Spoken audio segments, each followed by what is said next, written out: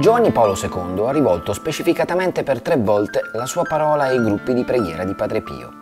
La prima sabato 1 ottobre 1983, quando ricevette in udienza una delegazione di circa 20.000 aderenti in pellegrinaggio a Roma in occasione del Giubileo straordinario della Redenzione che esortò a manifestare con chiarezza e con coraggio quelle che sono, cioè autentici e fervorosi cristiani, nella vita, nei comportamenti, nella speranza, nella carità. A distanza di due anni e mezzo, il cardinale Agostino Casaroli, segretario di Stato di Papa Voitila, ufficializzò il ruolo dei sodalizi oranti, nati a San Giovanni Rotondo e ormai sparsi in tutto il mondo, approvando il loro statuto. Il pontefice si rivolse nuovamente ai gruppi, sempre a Roma, nel 1988 durante il pellegrinaggio di ringraziamento delle diocesi della provincia di Foggia per la visita pastorale dell'anno precedente e nel 1990 in occasione del quarantesimo anniversario della loro fondazione. In quest'ultima circostanza Giovanni Paolo II invitò gli aderenti a seguire l'esempio di Padre Pio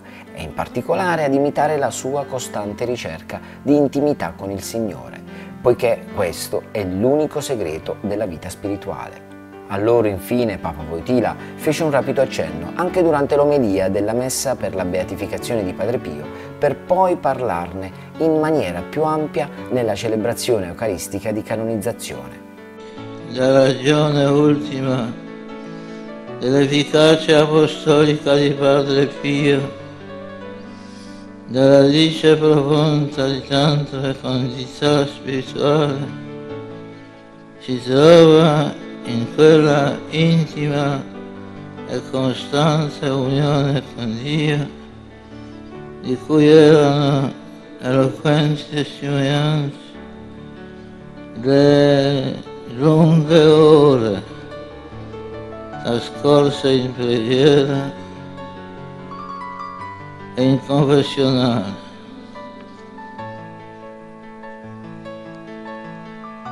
Amava ripetere, sono un povero frate che prega, convinto che la preghiera è la migliore arma che abbiamo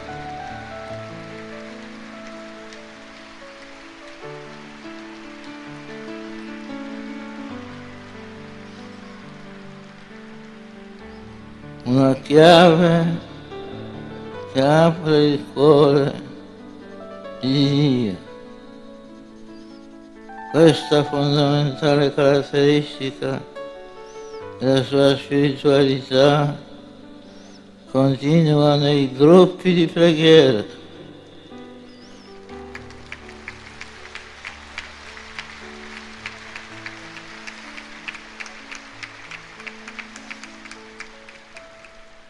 da lui fondati che offrono alla Chiesa e alla società il formidabile contributo di una orazione incessante e fiduciosa.